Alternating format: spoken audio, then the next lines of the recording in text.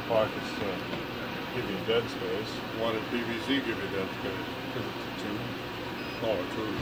and it's submerged. You make another one just like it? No, this is the platform. This is the riser. Make sure the pump and the What are we pumping, 20 milliamps? 20.9. So I can go up to 27 milliamps, which is considerably more power. which you'll start melting more. I'm going to probably strip the audio out of this, so don't worry about talking. I, when I was cutting my filter thing, it blew the circuit breaker several times after about halfway through. what is it, 15 amp? No, I had an 8 amp or 6 amp in there, and then there's a 2 amp one running the fans. So now I took the circuit breaker out and I put a 10 amp fuse in there in that spot, and I got a circuit breaker coming. I didn't have a 10 amp circuit breaker. Oh, this don't. This ain't nothing, Jeremy. Yeah, you don't want to breathe this stuff. Yeah, I know, but you cut that 3 8 inch stuff. Does that bother you? It's not good for you. There's hardly any smell in here, is there? It's not as bad. Now we got When you open the cover, you smell it. When we're cutting at 3 8 you can't even hardly come in the house and sink so bad. So That's, what the whole got a scrub. fan invented. I don't even know how it's getting out here. It should be. residue. That's what that scrubber box is for. That scrubber box will filter the air so you can dump this right into the room. It won't even stink. Yeah, but where's this? Where is it coming out of this box? It should be pulling. It is. Air. Oh, you feel it? Is it blowing out or is Oh, it no, pulling it's in? sucking in. It's sucking in. There's vents on the side of the thing too.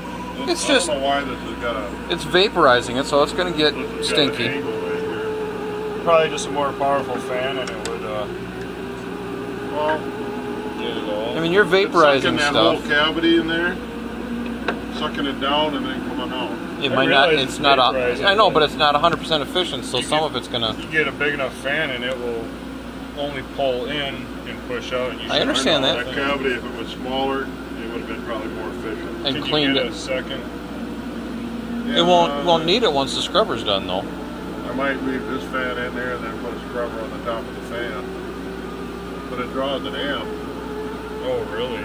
Well, the fan, the fan draws an amp, not the 100 watts. So What volt in 10 it? hours, 120. In 10 hours is a kilowatt. So if you spend 25 cents a kilowatt, so 10 hours, 25 cents. No So- different than you got. You got well over 100 watts running right here with the Throw another, throw another fan in there. Hooked up to the scrubber and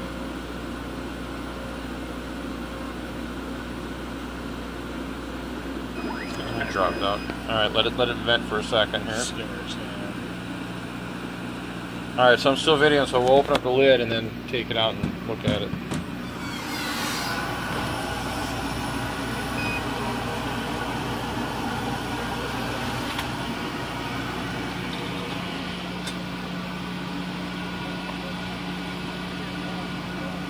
That's the ride.